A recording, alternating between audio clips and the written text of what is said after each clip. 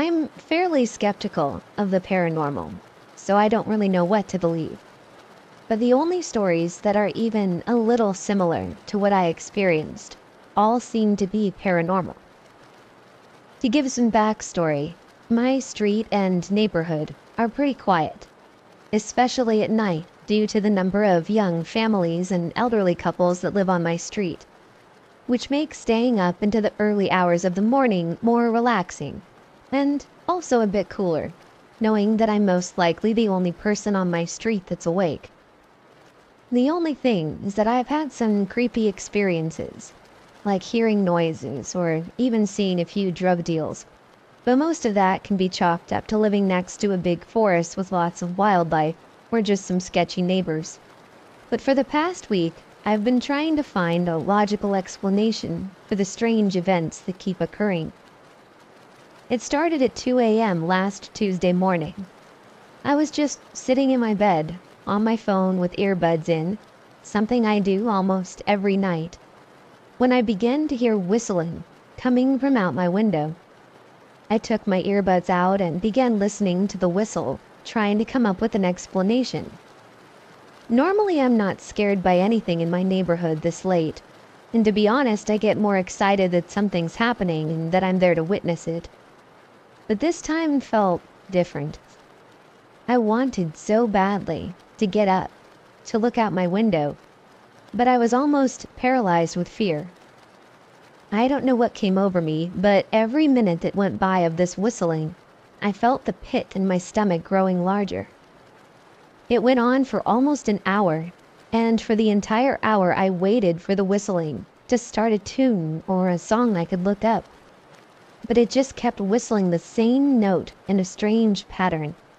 It would whistle one note for a good minute, then take a break for about thirty seconds, and then return to its one minute whistle, until about twenty minutes in, when the whistles got shorter and closer together, only to return to the original pattern after about ten minutes. What was even stranger was that whatever it was, was pacing in front of mine and my neighbor's house up until it stopped, when it retreated back down the other side of the street.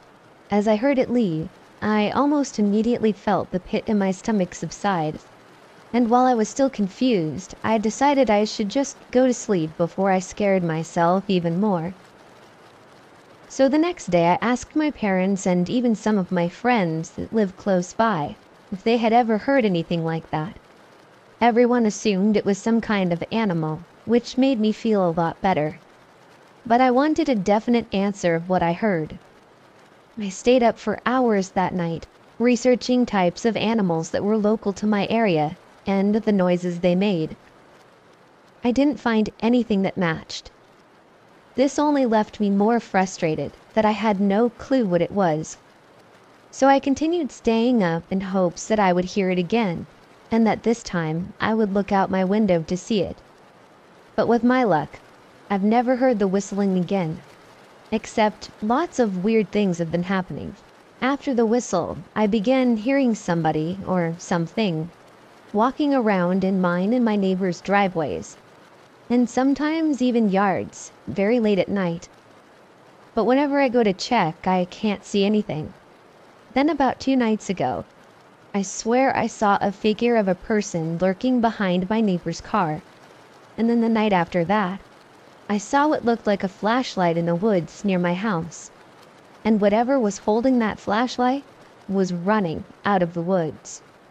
Then again last night I swear I saw a person crouching near my neighbor's car, just looking around. I thought I was done researching because I couldn't find anything about animals.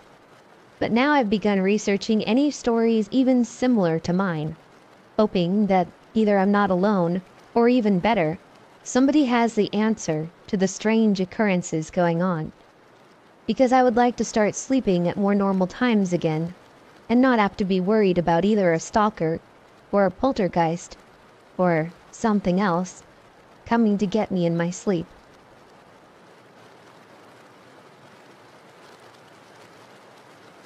I've always had a belief in the unknown and spirits.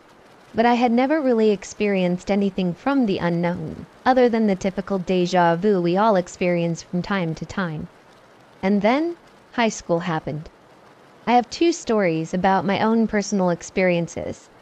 They are true events, even if people are skeptical. I know what I saw. I know what I felt. Believe whatever you want to believe, or believe what will help you sleep at night. But either way, these are true. Before I get into the stories, it's probably worth pointing out that I used to use Ouija boards with one of my friends. Stupid, I know. So when I was in high school, we lived in this neighborhood with an old textile mill in it. I always had a creepy vibe about the mill. I have never looked up if anything happened there, because I've always been, and still am, afraid of what I might find. My bus stop used to be in front of the mill, and I had to start walking to school, because I just couldn't shake the feeling that I was being watched by someone, or something, at the mill. Now, two things happened after I started walking to school. One, I started seeing a little girl out of the corner of my eye, about four or five, in the mornings as I was getting ready for school. I was the only one awake at the time, so maybe she just felt comfortable appearing then. I never felt threatened by her, and I don't know her name, but she looked like she was maybe from the twenties. I actually stopped seeing her after a while, which made me kind of sad, even though her presence also sent a shiver down my spine. The second thing that happened was my brother and his friend decided to go in the mill, where, according to them, they found markings where a body was and dried blood. I don't know how true that is because I refuse to go into that place, but I still can't ever shake the feeling that something is watching me even to this day. In fact, I think it has intensified since my brother and his friend went in there. Apparently now it's being remodeled and reopened. I hope they cleansed that building of any negative energies and spirits first, but somehow I doubt it. My second story takes place a few years after the incident with the little girl at my sweet 16. My parents threw me a surprise party with a luau theme I had a few of my close friends over, some staying overnight. One of my friends, let's call her Kat, needed to go home, so we all decided to walk her home. I mean, she didn't live that far, maybe two or three blocks at most. Well, we get there and we're all hanging out. Kat lived near a cemetery, and another friend who I'll call Sam suggested that we just walk around for a little bit. Now it's maybe 9:30 at night. This cemetery has been known to have fog only in the cemetery. Fog that doesn't affect the area outside of its cobblestone walls. I didn't tell anyone, of course, and we all thought it would be a great idea. So we all hop over the wall, which really isn't that tall, and we just start walking around, looking at who's buried there. In this cemetery, there is an area that has its own fence, and after a while, Sam and I get a little bored and decided we wanted to go inside. So we did. And immediately she starts feeling sick to her stomach and we can't figure out why. So we tell everybody still in the cemetery and we leave. The second we leave, Sam's feeling better. No nausea, no stomach pain, nothing. Then I started feeling nauseous, which freaked me out a little bit. So I convinced everyone to go back to my house, because I didn't want to be around that place anymore. We told Kat goodbye and we left. I didn't stop feeling nauseous until we were inside my house. I don't think whatever was in there wanted us there. And I'm glad that all that ever happened to me was a wave of nausea. I assume it could have been a lot worse. When I was in the third or fourth grade, I saw a UFO with my older cousin and little brother. This was in Voorhees, New Jersey, during our summer vacation. We were in a high-end apartment complex and had gone outside to go play. This was in the late 90s. We had decided to first see who was out before deciding on what toys to bring out with us. Think water guns, bikes, scooters, Pokemon cards, things like that. We were going to go to the park first, but heard a strange, high pitched whistling noise down the hill from our apartment building near the mailboxes. It was the kind of whistling noise that brought about a strange energy. I noticed everything seemed really quiet, except for this whistling. I say whistling, but that's the closest sound we have in this world that people would collectively be able to understand. But it wasn't exactly whistling. It gave me the creeps. I wasn't scared, I just felt uneasy. My older cousin decided to go check it out. He ran down the hill, and I saw him turn his head left and just stop dead in his tracks. I saw his jaw drop and his eyes go big. He said, "Oh my gosh, come look at this. It's a UFO." My brother and I were both younger and weary of him since he was known to be a prankster and mischievous. We didn't want to come, and he was like, "You won't regret it." He looked at us in such a way that I believed him, so I went down to go look as well. There was an apartment building blocking the view of the UFO, so I walked slowly to where I would pass it and be standing by my cousin. As I neared the location, this whistling noise became louder. I started to see the UFO floating and hovering right next to the balcony of a family we knew because they had older kids that would sometimes play with us. The UFO was about the size of a large pickup truck, and it was giant and metallic, but not a metallic ball. It was spinning really fast and looked as if it should have been able to reflect its surroundings because it was so shiny, but it didn't. The whistling was this ball spinning so fast, yet so slowly as well. It had that saucer thing around it, but not huge or anything. Maybe the saucer it was spinning inside was only about three feet in width. But the UFO had to have had a diameter about the length of a Ford Tundra I was in absolute awe. I felt like I'd won something, like yes, there's proof, and I know something that my parents don't know. My brother had been calling to us and I hadn't been paying attention. I just told him to come and look. He was always shy and a crybaby, but he came reluctantly. I was just observing this thing spinning and thinking that it had to be observing me too. I noticed in the sky there was like a tunnel of a spinning energy or clouds in the air. That tunnel went straight up into the sky and far away, and the UFO, or its copy, was on the other side way off in the distance. My cousin wanted to throw a rock at it and tell them to get out. My little brother screamed his panic scream and told him no. I'd also told him not to do that, he listened to us, but I guess they felt his hostility, and the UFO moved back and higher. My cousin said, "See, they're scared. Let's make 'em go." And he started screaming and saying go away and get out. My brother and I joined. I can't remember if we actually did start throwing rocks or not, but I don't think we did. That part gets murky. The tunnel looked like it got bigger in size, and the UFO started looking like it was appearing in the tunnel, even though it was right in front of us. It was like there was a delay, and we could see snapshots of the UFO in the tunnel going up, like a loading bar where it's copying itself. There was a loud sound like a whoosh, and my little brother screamed and bolted home. The UFO was no longer in front of us, but the tunnel was still there and we could see like a bright light and the UFO at the end of the tunnel, and then it was gone. We ran home to tell my mom. When we got there, my mom was pissed and thought that my cousin and I had tricked my brother and scared him. She couldn't quite understand through my brother's hysterical crying what he was saying, only heard that they made me see the aliens. We saw no aliens, and we explained this to my mom. We explained what we saw, and I said, "Mom, it's real." I was the only girl, and my mom believed me because I wasn't one to lie or prank.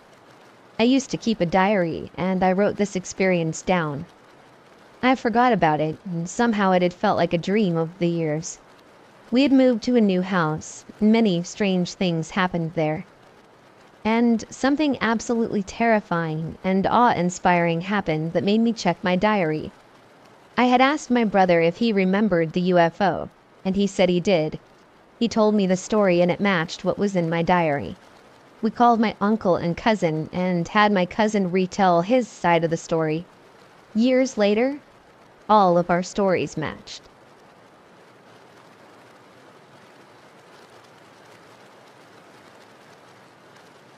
I always get random intrusive thoughts at night when everything's quiet and I can't sleep. They're thoughts composed of words I sometimes don't even say or know the meaning to, and they just pop into my mind without any prior thoughts related to them. Often they lead me to have to look up definitions. I'm legitimately afraid that some sort of frequency wave is intruding on my mind and manipulating my cognitive functioning. Also, sometimes when I nod out at night, when I'm tired but I'm trying to stay awake, as soon as I nod out but am still mostly conscious, I'll hear fragments of a voice making a sound. Sometimes it will say my name. And one time I didn't even nod out, and to the right of me, I heard the name of my boyfriend out loud. I swear my house is haunted by some kind of energy. My father died here 11 years ago by killing himself. I was the last one to enter his bedroom where he passed to shut the windows because it was storming heavily outside before leaving to spend the night at my grandmother's house. I was very close to my dad and took after him in many ways, features and all. However, years before he passed, I was very resentful and nothing but mean and nasty to him. Literally minutes before he passed, I gave him a dirty look for no reason. Flash forward 11 years, and I have found myself exactly where he was before he died isolated, depressed, and addicted to opioids. At first, I thought I was haunted by him, but maybe there's a dark energy that followed him throughout his life and now it's attached to me. I just feel so haunted here all the time, alone in my mom's basement. Late at night, when everything is quiet, around midnight until four o'clock when the sun is just about to rise and the birds start chirping, I always feel a strong presence around me. And sometimes my lamp and bedroom lights will glow brighter and cause all the shadows in my room to become darker and darker. It's creepy. And to make my mom's house even creepier, it's full of my grandmother's old furniture from the 50s and 60s. Everything is old with weird energies attached. Everyone that I've asked who's come over to my house has told me that they feel a very strange and dark and sinister energy here. We moved into it newly built, and it's only about 14 years old now, so I really don't know what's going on. This was not a dream. I was fully awake, but I was having a hard time trying to go to sleep. I was in my room, but I couldn't fall asleep there, so I moved to the living room. Usually, as I'm trying to go to sleep, I'll let my mind wander on its own, and I always end up thinking of nonsense, like sentences or scenarios that don't mean anything. This time was different, though. I can almost always control the thoughts and steer them into the direction I want them to go, but this time I couldn't. It's like my thoughts were not my own. My mind was just racing with random sentences that I would never be able to think of. I had my eyes closed, but suddenly every thought racing through my head just stopped on a dime, and I hear a high pitched female voice scream, Someone is home. She said a name, but I couldn't make it out. It seriously sounded like it was being yelled directly into my ear, and it turned into an echo chamber in my brain. I heard it replay over and over and over until it faded out. All of this happened in maybe five seconds, but it felt like I'd heard it 15 times. I lifted my head up off the couch to see who was there, but it was no one. So I decided to try to go to sleep again, and as soon as I closed my eyes, all I could see was dirt, a field, and eight blue orbs. I'm still awake at this point, and out of nowhere I hear the voice again, this time inside of my head, saying, Eight people died here. I'm really not sure what to think of this. Nothing like this has ever happened to me before. I used to experience sleep paralysis and lucid dreaming quite often, but not like this. With everything I was hearing and seeing, I felt like it was completely out of my control. It was so weird.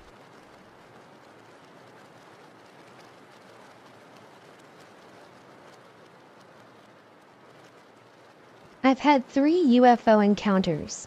I'll tell them here.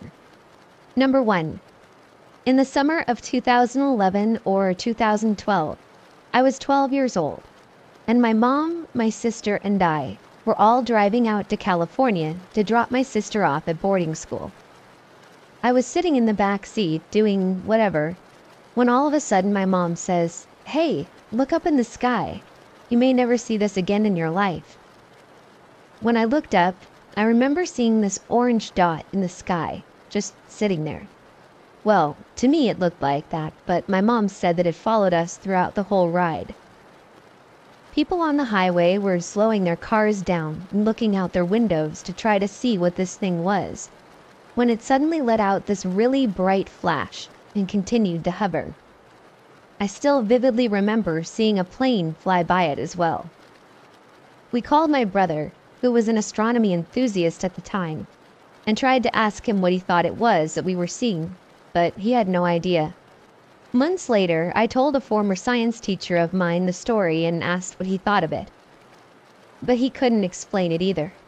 Number two. This one takes place three years after the first event. By now, I was 15 and it was winter. I was getting ready for the night and already had my PJs on when suddenly my mom said, Hey, want to see a UFO? I, being an enthusiast of the unknown, happily obliged and went outside. When I got there, I remember seeing these lights just hovering over our backyard. I remember seeing two, but my mom and stepdad said that there were three and that they were in a perfect triangle. I remember they kept changing color, and we were all sitting out there trying to figure out what they were from what I can recall, they had been out there for days. Finally, in 2016, I was 16 years old and I was driving with a friend of mine back from camp. We were near our home when we saw this bright light just hovering. At first, I thought it was a helicopter, but he pointed out that it was too close to be that. As we got closer, we saw that it was triangular in shape I told him to pull over and get a picture. We pulled over, and I remember that it took him forever to eventually get the camera. By then, I was watching this thing, and it was slowly moving away. When he finally got his camera together, it had already disappeared. This one could easily be explained, as it could have been a military drone. We were close to some military base thing. But either way, it was still very interesting.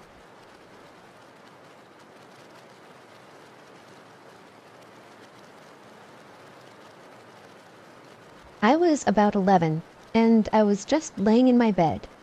But the way my bed was positioned in my room made it so that I could look straight down the hallway, as in the bottom of my bed faced the door, and my head was near a wall. Anyway, I was laying there and I was trying to go to sleep when I heard a door open. So I looked down the hallway, and all I saw was a completely nude woman standing down at the end of the hallway staring at me. She was kind of a pretty woman. She had long, dark hair, and I could even see her pale blue eyes. She was probably in her late twenties or early thirties. She was moving closer and closer to me. I was already afraid, because there was this strange naked woman in my house. But what was even weirder is that her legs weren't moving. They weren't even touching the ground. The weirdest part, though, is that the closer she got to me, the older she looked. By the time she was at my door, she was hunched over, had gray hair that looked like it had never been brushed, wrinkled skin, and all the other features of an old woman that you would expect. As soon as she entered my room, she started screaming at me, which scared me, so I pulled the blankets above my head. I closed my eyes, but when I pulled the blankets off, I didn't see anything. if anyone has ever experienced something like this, or you know what kind of entity this was, please let me know.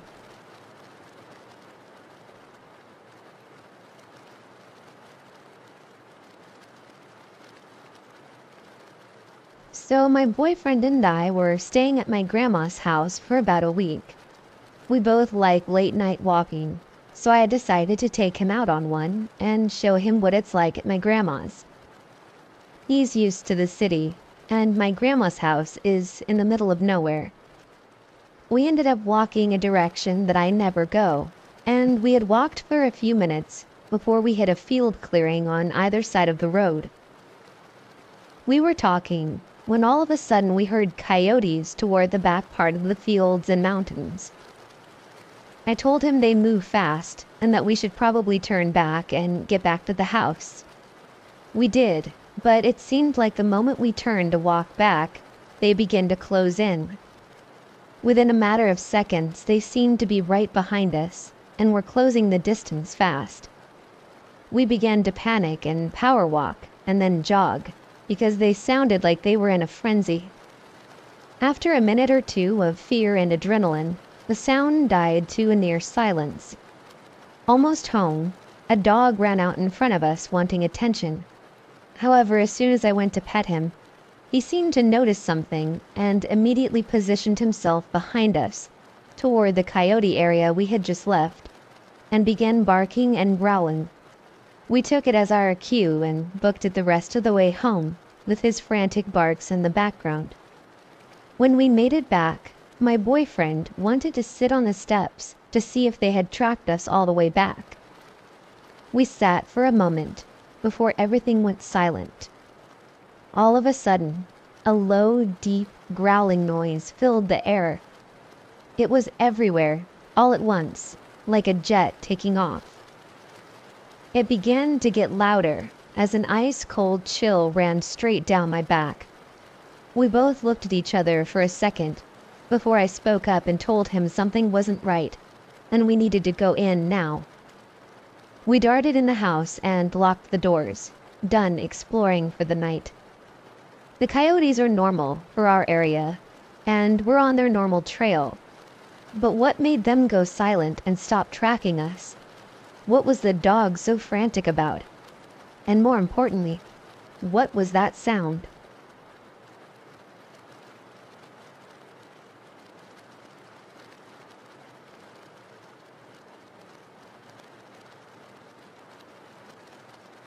Ever since I was a child, I've gotten random snippets of deja vu. These episodes last from a few seconds to a minute. Whenever I have them, though, I always get the sense that what just happened was something I had dreamt about. I don't have particularly vivid dreams often, and I rarely remember the details when they are vivid. The real life occurrences trigger the feelings of deja vu. But when I think about it logically, I know that it's not something I've experienced before, but rather something from a dream. Or maybe an alternate reality or something that my mind just interprets as a dream. I'm not sure what to make of it, and I've never told anyone else about this. I guess I just want to know that I'm not alone.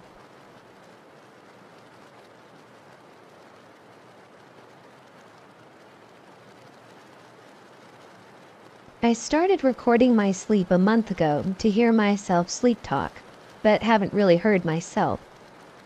However, yesterday morning I came across a very strange voice clearly saying, Wake up at 4:30.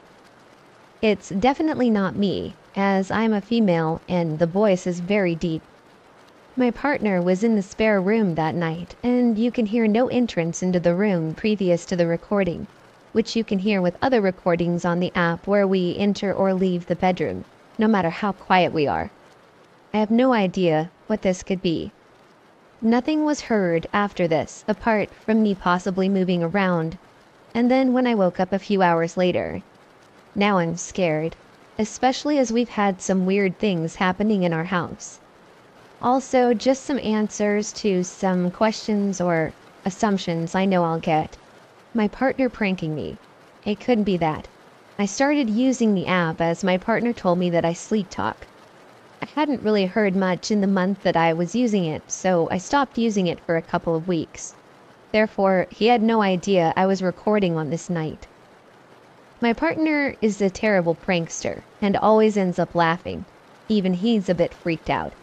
Neat pranking. Definitely not. Like my partner, I'm not good at holding it out. And also, I would probably come up with something a little bit better. Another assumption is that it's my voice, but it's too low to be mine, and it sounds robotic. When I've heard myself sleep talk on this app in the past, it sounds nothing like it. According to Fitbit, at this time I wasn't dreaming, so I couldn't have been sleep talking. Although I accept that this isn't exactly the most highly accurate data. It's not a noise coming from outside either. It's too clear. Noises from farther away sound, well, farther away, and the phone is right next to me on the bedside table. We have no idea what set it.